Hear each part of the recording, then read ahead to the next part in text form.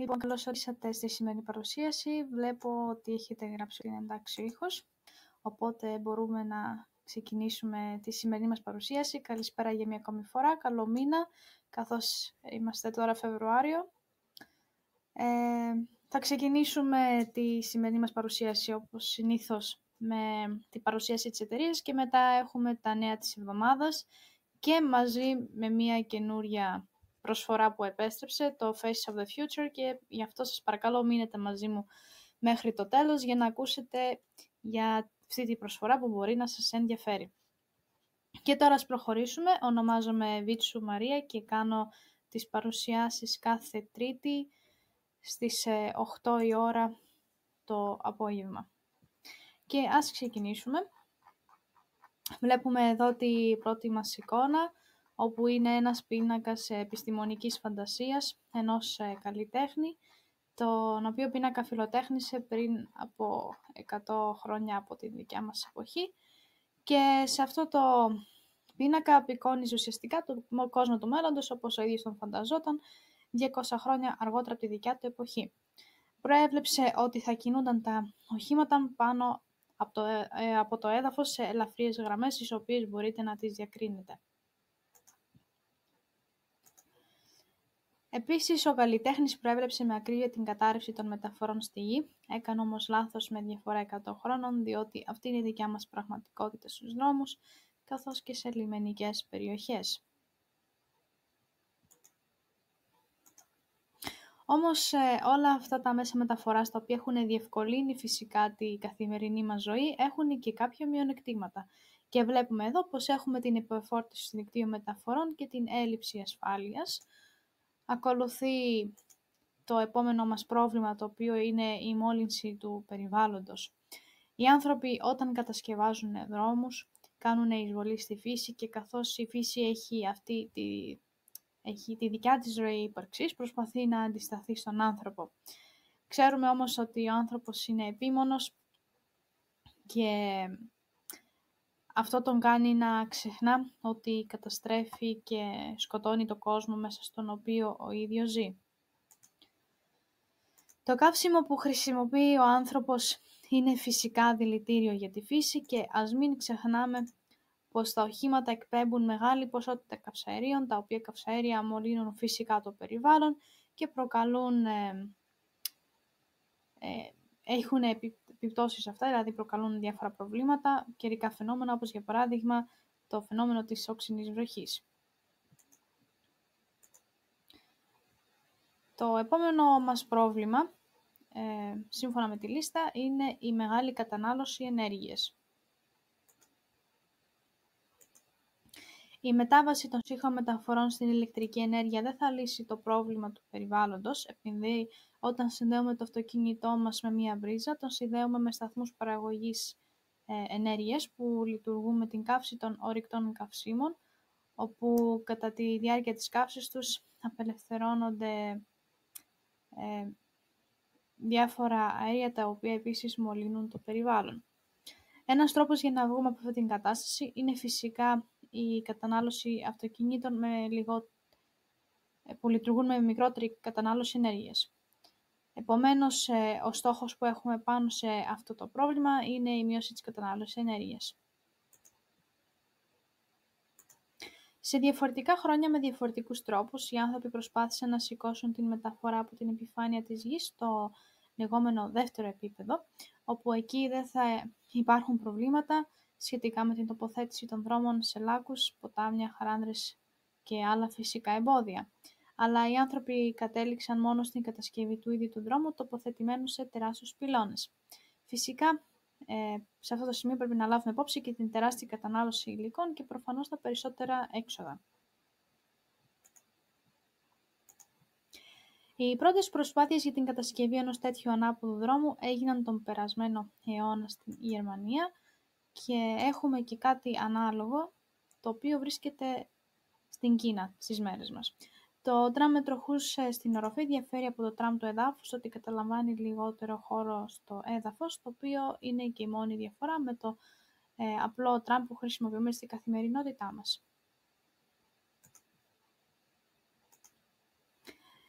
Εδώ έχουμε αριστερά το τελεφερίκ και δεξιά έχουμε εικόνες με τα εναέρια βαγόνια, τα οποία δεν έχουν τη δικιά τους μηχανή. Αυτά σέρνονται από ένα σχοινί και δεν είναι ανεξάρτητες μεταφορές. Εδώ έχουμε ένα απόσπασμα του Γενικού Σχεδιαστή των Τεχνολογιών Χορδής Skyway Anatoly Unitsky, όπου μας λέει ότι δημιουργούμε μια βιομηχανία μεταφορών και υποδομών που δεν υπολείπεται σε τίποτα αυτής των αεροπορικών, σιδηροδρομικών και οδικών μεταφορών. Και αυτή είναι η μεταφορά που προέβλεψε ο, καλλιτέ... ο καλλιτέχνης επιστημονικής φαντασίας, τον οποίο είδαμε νωρίτερα.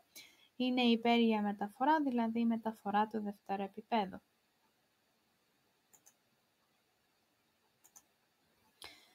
Τις τεντωμένες χορδές ε, ο άνθρωπος ε, τις χρησιμοποιούσε εδώ και πολύ καιρό, δεν είναι κάποια καινούρια εφεύρεση και εδώ έχουμε και κάποιες εικόνες που μας το επαληθεύουν αυτό και μας δείχνουν τη διαφορετική χρησιμότητα των χορδών.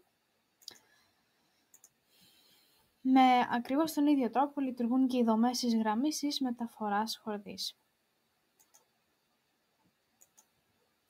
Τα σύρματα στήριξης που στηρίζουν τις σύγχρονες γέφυρες μπορούν να χρησιμεύσουν ως βάση για τη δομή της γραμμής της μεταφοράς χορδής.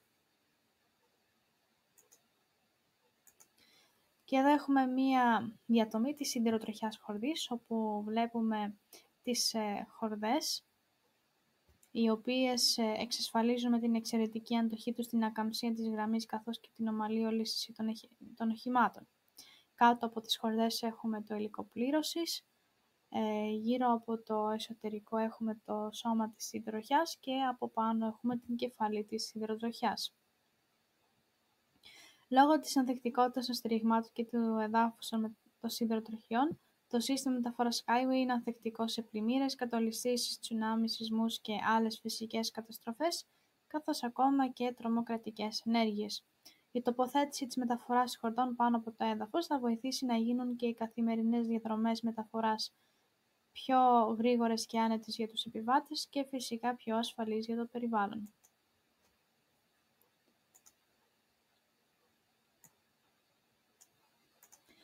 Υπάρχουν πέντε τύποι κατασκευών τροχιάς σε λειτουργία στο Κέντρο Τεχνολογίας της Λευκορωσίας και τώρα θα σας πω τα πλεονεκτήματα που έχει το καθένα από αυτά. Εδώ βλέπουμε το πρώτο που είναι το ευέλικτο. Τα κύρια χαρακτηριστικά της ευέλικτης δομής τροχιάς είναι η απλή κατασκευή και το μικρό βάρος της. Αυτό καθιστά δυνατή την κατασκευή τροχιών σε περιοχές με δύσκολο έδαφος και σε απομακρυσμένες περιοχές. Η ευέλικτη δομή τροχιάς αποτελείται από λίγα στοιχεία, αλλά διατηρεί υψηλό επίπεδο λειτουργικότητας. Μια τέτοια πίστα θα ήταν μία από τις πιο προσιτές λύσεις για υπηρεσίες μεταφοράς. Το επόμενο μας όχημα είναι το υπερελαφρύ. Η βάση της εξαιρετικά ελαφριάς δομής τροχιάς είναι σπυροειδή σωλήνας με σύρμα από χάλιβα υψηλής αντοχής στο εσωτερικό. Χάρη στην απρόσκοπη ένωση, οι ράγες τοποθετούνται εύκολα και η απλή κατασκευή εξασφαλίζει χαμηλό κόστος κατασκευής. Μακροπρόθεσμα, η πολύ ελαφριά δομή τροχιάς θα μπορούσε να είναι μια εναλλακτική λύση για τα τελεφερίκ. Σε σύγκριση με αυτές, οι σπυροειδείς ράγες σωλήνων είναι ευκολότερο να κατασκευαστούν και φθηνότεροι στη συντήρηση. Το χαρακτηριστικό γνώρισμα της άκαμπτης δομής τροχιάς είναι η ευελιξία και η καλή ικανότητα φόρτωσης. Σε αυτή την πίστα δοκιμάζονται διάφορα μοντέλα όπως το Unicont, το Unibus, το Unitrack και το Unibike. Το 2018 οι μηχανικοί του έργου αναβάθμισαν τη δομή της σημειάκαμπτης τροχιάς για να μπορέσει να μεταφέρει βαρύτερα μέσα μεταφοράς.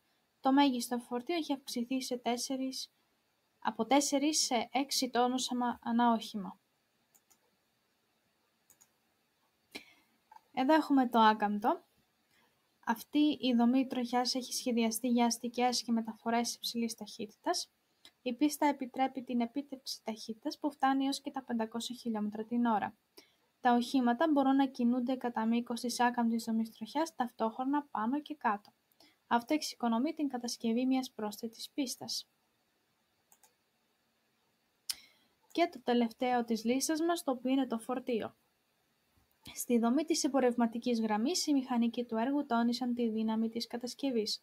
Με αυτόν τον τρόπο μπορεί να παρέχεται μεγαλύτερος όγκος κίνησης. Η διαδρομή στο κέντρο δοκιμών της Λευκορωσίας είναι κυκλωμένη και συνδεδεμένη με την Unitrans, μια μεταφορά εμπορευμάτων τύπου Zones. Οι αυτόματοι σταθμοί φόρτωσης και εκφόρτωσης συμπληρώνουν επίσης την δομή της τροχιάς.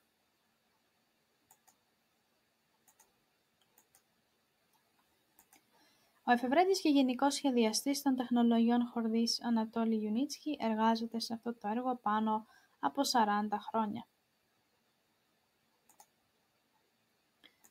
Ένα ερώτημα το οποίο ίσως να σας έχει γεννηθεί μέχρι στιγμής που έχετε ακούσει αυτή την παρουσίαση είναι για το πώς μπορεί η μεταφορά χορδής να λύσει τα προβλήματα του σύγχρονου κόσμου.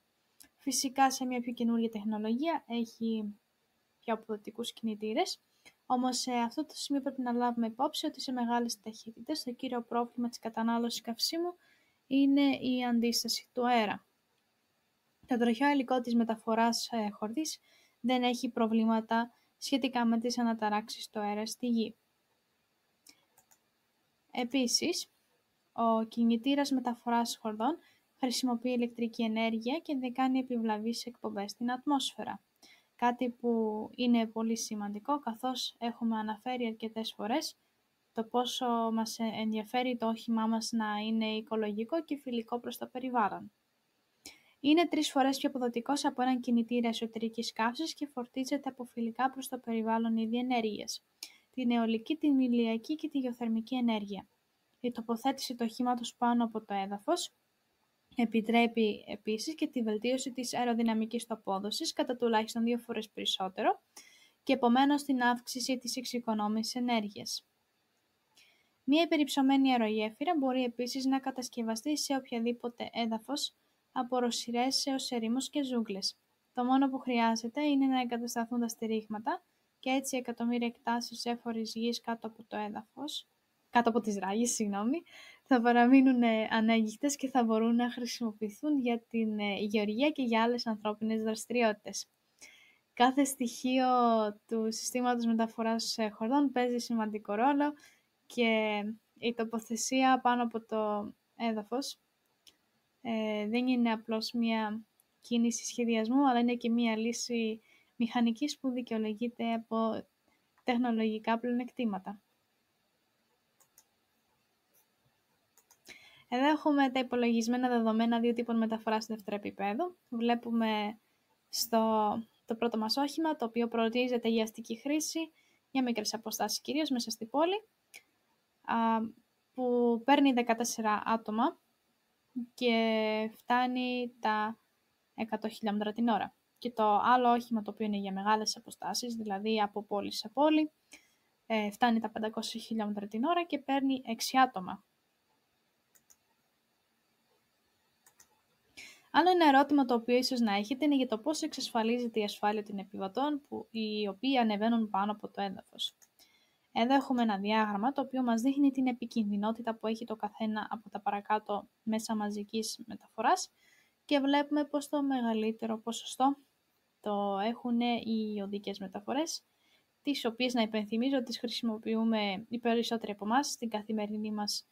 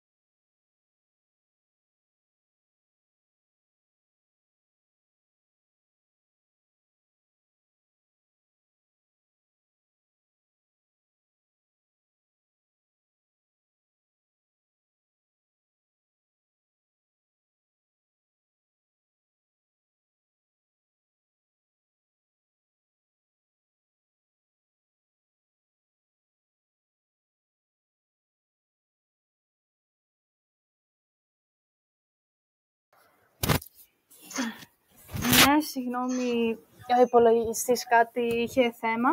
Ε, πάλι καλά που τώρα να προσπάθησα και μπορώ να συνεχίσω. Ελπίζω όλοι να με ακούτε καλά και τώρα θα προχωρήσουμε την παρουσίαση. Συγγνώμη για μια ακόμη φορά. Και τώρα θα προχωρήσουμε.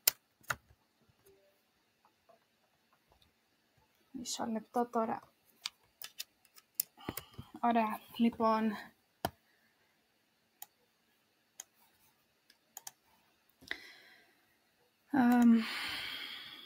Τώρα να ανοίξω λίγο το...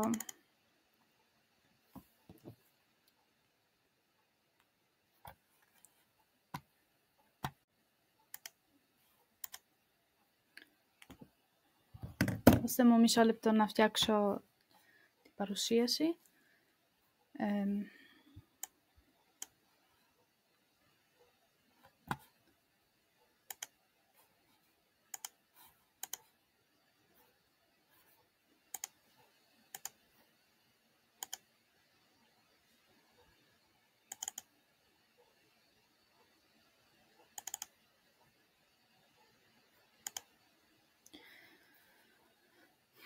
Ωραία. Λοιπόν.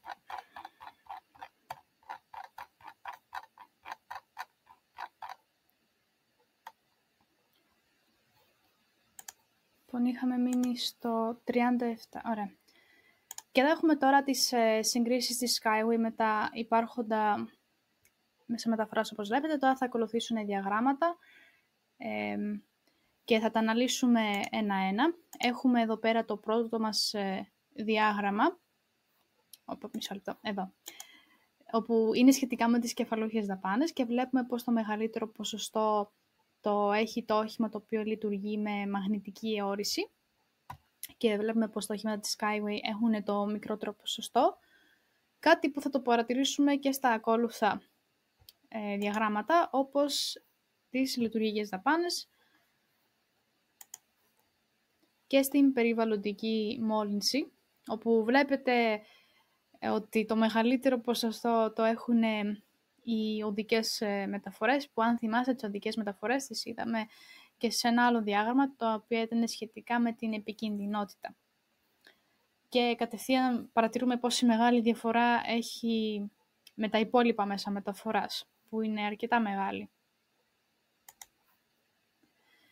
Εδώ τώρα σε αυτό το διάγραμμα το οποίο είναι σχετικά με την κατανάλωση ενέργειας, ε, βλέπουμε πως το τελεφερή κάνει τη μεγαλύτερη κατανάλωση ενέργειας και μετά από αυτό ακολουθούν το όχημα μαγνητικής αιώρησης με αρκετά μεγάλη διαφορά, το αεροπλάνο, οι οδικές μεταφορές, ο σιδηρόδρομος και τέλος τα οχήματα της Skyway.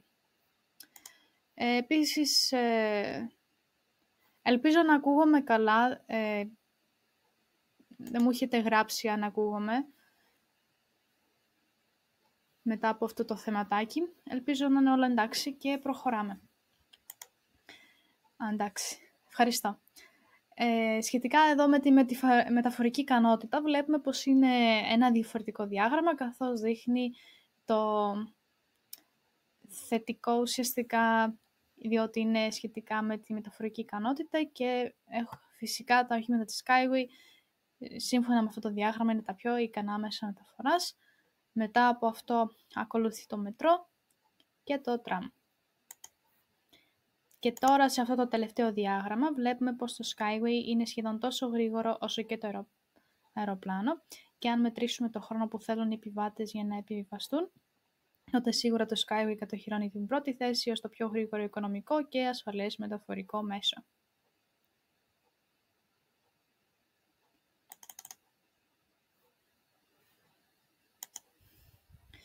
Πριν από την είσοδο στην αγορά κάθε όχημα και ειδικά αυτά που σχετίζονται με τη μεταφορά ανθρώπων πρέπει να περάσουν από πολλές δοκιμές. Η τεκμηρίωση που επιβεβαιώνει ότι η μεταφορά χωρίς έχει περάσει αυτές τις δοκιμές μπορεί να βρεθεί εύκολα στην ιστοσελίδα.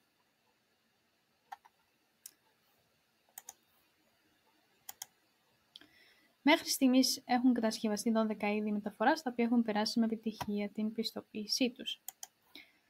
Η τεχνολογία μεταφοράς ε, χορδής έχει λάβει επίσης και πάνω από 83 διπλώματα έβρεση τεχνίας σε 18 χώρες από τις Ηνωμένες Πολιτείες Αμερικής μέχρι και την Κίνα.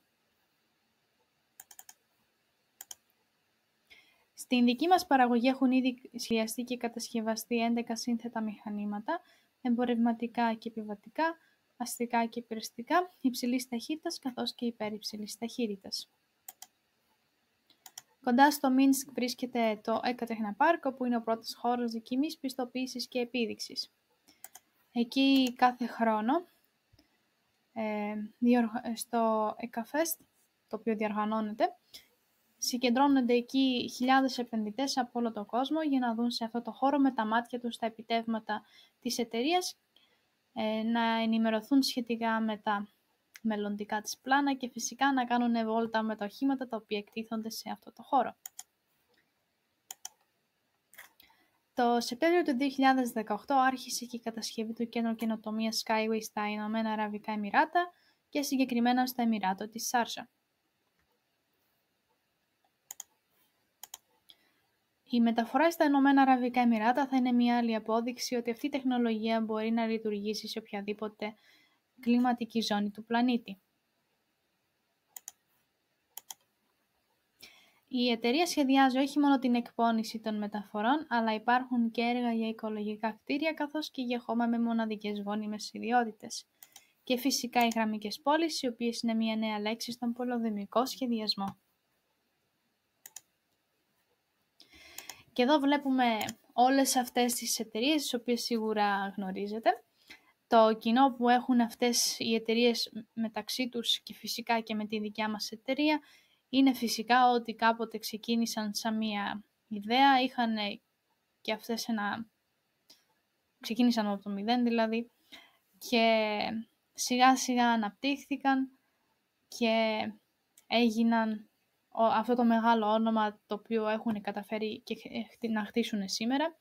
Η δικιά μας εταιρεία ακόμα έχει κάνει τα πρώτα της βήματα και όπως βλέπουμε έχει ακόμα πολύ μέλλον μπροστά της και με αυτά που βλέπουμε τώρα ήδη μπορούμε να καταλάβουμε πως έχει να πραγματοποιήσει και αυτή πολλά ε, σημαντικά πράγματα, πολλά σημαντικά έργα στο μέλλον.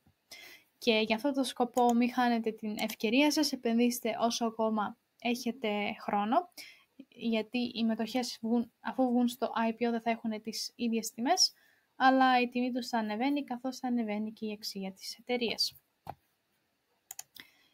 Και τώρα ας συνοψίσουμε. Η, η πέρια μεταφορά Skyway είναι καινοτόμα, υψηλής ταχύτητας, ασφαλής, οικονομική, εύκολα προσαρμοσμένη και πάνω απ' όλα είναι φιλική προς το περιβάλλον, διότι σκέφτεται τον άνθρωπο, σκέφτεται τις ε, ανάγκες του και παράλληλα φροντίζει και διατηρεί το πλανήτη μας. Τώρα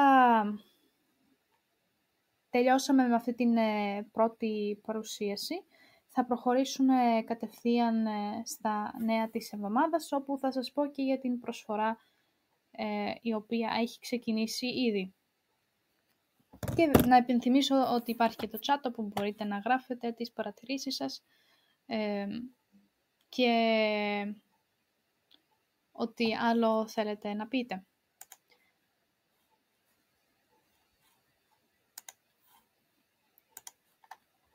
Πάμε στο πρώτο μας νέο, το οποίο είναι ένα άρθρο το οποίο δημοσιεύτηκε στις 3 του μηνός.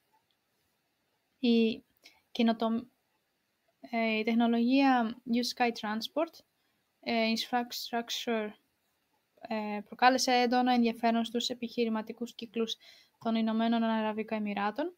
Αυτή τη φορά το κέντρο δοκιμών και επιστοποίησης της USky το επισκέφτηκαν ο Διευθύνων Σύμβουλος της PANX και ο Πρόεδρος του ομίλου Al Γιάθ, ελπίζω να το διαβάζω σωστά. ο Ανατόλη Γιουνίτσκι ο Γενικός Σχεδιαστής και Ιδρυτής της U-Sky Transport συνόδεψε προσωπικά τους εκλεκτούς καλεσμένους, μίλησε για τις ε, τεχνολογίες υποδομής που δημιουργήθηκαν και απάντησε στις ερωτήσεις των επισκεπτών του. Ιδιαίτερη προσοχή έδωσε στο γραφείο U-Sky Transport που ήταν το σημείο κίνησης της περιοδίας, της περιοδίας. Κατά, τις, ε, κατά τη διάρκεια της εξενάγησης οι επισκέπτες είδαν και ένα λειτουργικό μοντέλο μιας γραμμικής πόλης με ενσωματημένα συγκροτήματα μεταφορών και υποδομών της USky. Ο Γενικός ε, Σχεδιαστής είπε επίσης στους επισκέπτες ότι εκτός από τα μοντέλα που παρουσιάζονται, η USky Transport διαθέτει ένα σύνολο ενοποιημένων σχεδιαστικών και τεχνολογικών στοιχείων με συγκροτημάτων μεταφορών και υποδομών που αναπτύχθηκαν από την ε, εταιρεία μηχανικών USD. Επιτρέπουν την επίλυση διαφόρων υλο... υλοκοτεχνικών υλικοτεχνικών προβλημάτων στον τομέα της ε, αναστικών και υπραστικών μεταφορών για επιβάτες ε, και φορτία. Και μεταξύ των τελευταίων μια ιδιαίτερη θέση κατέχει και η Ucount, όπου είναι ένα μη επανδρομένο ηλεκτρικό όχημα σχεδιασμένο να μεταφέρει εμπορευματοκιβώτια ε, φορτίου που φτάνει έως και τα 20 και 40 πόδια με ταχύτητες έως και 120 χιλιόμετρα την ώρα. μοιράζοντας την επιθυμία των πιθανών συνεργατών να επεκτείνουν ενεργά τους επιχειρηματικούς τους ορίζοντες, η Sky Transport είναι έτοιμη να διαθέσει την τεχνολογία της για τη δημιουργία καινοτόμων συγκροτημάτων μεταφορών. Μπορείτε, αν θέλετε, να διαβάσετε περισσότερες λεπτομέρειες για αυτό το άρθρο στο link που έχουμε βάλει στη, ε, στο group chat για τους ε, επενδυτές της εταιρείας, καθώς έχει εκεί πέρα πολλές περισσότερες λεπτομέρειες. Και πάμε κατευθείαν στο επόμενό μας άρθρο, το οποίο δημοσιεύτηκε στις 6 του μηνός.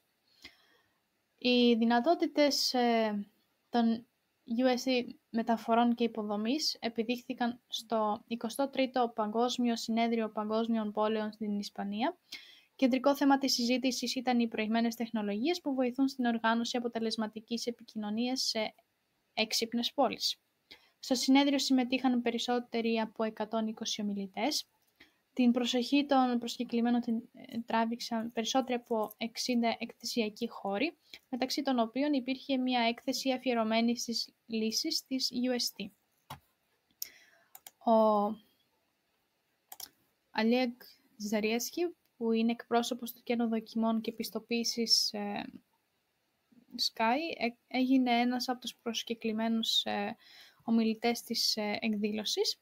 Παρουσίασε τους, ε, στους καλεσμένους τα προβλήματα που προκύπτουν κατά την κατασκευή έξυπνων και φιλικών προς το περιβάλλον πόλων, καθώς και πώς επιλύονται αυτά τα προβλήματα χάρη στις τεχνολογίες της UST. Κατά τη διάρκεια της, ομιλ... της ομιλίας, ο Αλέγκ Ζεριέτσχη τόνισε την συνάφεια της τεχνολογίας UST και τη σημασία της μεταφοράς των μεταφορών στο δεύτερο επίπεδο για την προσβασιμότητα των μεταφορών. Και επίσης στο πλαίσιο της εκδήλωσης πραγματοποιήθηκαν και διαπραγματεύσεις με το Peace City World. Τα, μέρη, τα μέλη συζήτησαν τη χρήση των συμπλεγμάτων USD ως ε, λύση μεταφορών για έξυπνες πόλεις. Η διοίκηση Peace City World εξέφρασε ενδιαφέρον για την χρήση της τεχνολογίας USD και για την υλοποίηση των έργων της στην Ισπανία, την Τινησία, την Τουρκία και τη Σαουδική Αραβία. Αποτέλεσμα των διαπραγματεύσεων ήταν η υπογραφή μνημονίου με την ε, Peace City World. Το έργο της Peace City World δημιουργήθηκε με στόχο την πρόθεση και υλοποίηση της ιδέας μιας νέας αστικής ιδέας, στην οποία ε, οι εγκαταστάσεις ενσωματώνονται μέσω προηγμένων τεχνολογιών πληροφοριών και επικοινωνιών. Η παγκόσμια αγορά έξυπνων πόλεων αναμένεται να φτάσει τα 820,7 δισεκατομμύρια δολάρια στις Ηνωμένες Πολιτείες Αμερικής έως το 2025, με μέσο ετήσιο ρυθμό ανάπτυξης 148%. Η PCT World σχεδιάζει να κατασκευάσει 20, 100 με, με, 10 με 20 εγκαταστάσεις σε 5 υπήρους τα επόμενα 10 χρόνια. Οι έξυπνες πόλεις θα γίνουν νέα οικονομικά κέντρα που θα υλοποιηθούν στο πλαίσιο της παγκόσμιας αναπτυξιακής στρατηγικής.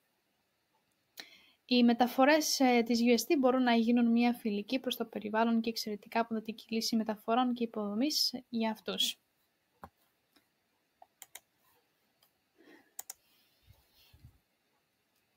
Στο επόμενο μας νέο, το οποίο δημοσιεύτηκες στις 7 του μήνος, έχουμε για την ε, Sharjah Investment Forum, όπου είναι ένα από τα κορυφαία επενδυτικά συνέδρια στην περιοχή της Μέσης Ανατολής και της Βόρειας Αφρικής.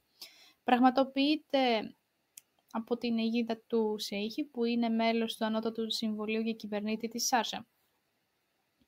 Η έκτη έκδοση του επενδυτικού φόρουμ της Σάρζα θα πραγματοποιηθεί στις 8 με 9 Φεβρουαρίου του 2023 στο Κέντρο Υποδομής, Υποδοχής και Συνεδρίων AI Jawahir το θέμα επαναπροσδιορισμός της ε, οικονομίας και επίτευξης σημαντικών βημάτων για ένα καλύτερο μέλλον θα περιλαμβάνει τις τελευταίες εξελίξεις στα χρηματοοικονομικά και τραπεζικά, το περιβάλλον με τις ανανεώσιμες πηγές ενέργειας, τις δεξιότητες στην ψηφιακή εποχή και, την, και τις μελλοντικές τεχνολογίες που διαμορφώνουν τον κόσμο των επενδύσεων.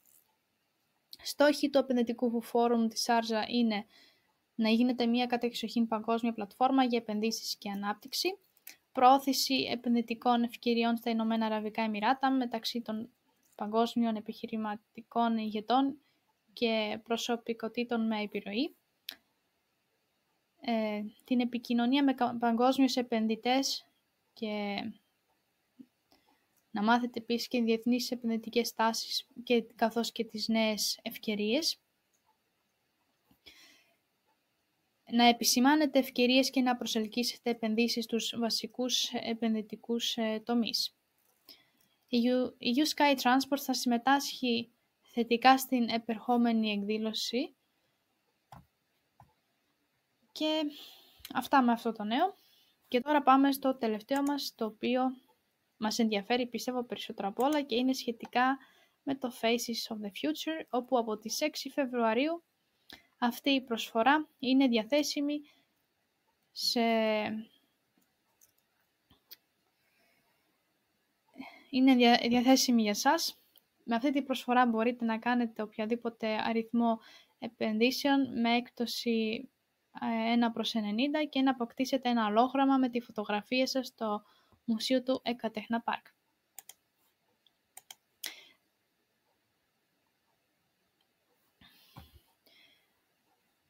Μπορείτε να, να δημιουργήσετε ένα λόγραμμα μόνο αφού έχετε πληρώσει ολόκληρο το ποσό της επένδυσής σας σύμφωνα με μία από τις απαιτήσεις, όπου είναι σε δόσεις των 500 δολαρίων για 10 μήνες ή εφάπαξ με ποσό που είναι 5.000 δολάρια. Με την προσφορά Faces of the Future μπορείτε να αποκτήσετε 450.000 μετοχές για 5.000 δολάρια. Αυτό είναι 275.000 περισσότερες από ότι για μία επένδυση ε, με το κατά αποκοπή ποσού με το ίδιο ποσό στην τυπική έκπτωση του τρέχοντος σταδίου. Εδώ από ό,τι ε, βλέπετε πως έχουν μείνει περίπου 9 μέρες μέχρι τη ε, λήξη της προσφοράς, οπότε βιαστείτε, δεν έχετε πολύ χρόνο. Έχετε χρόνο μέχρι τις 17 του μηνός.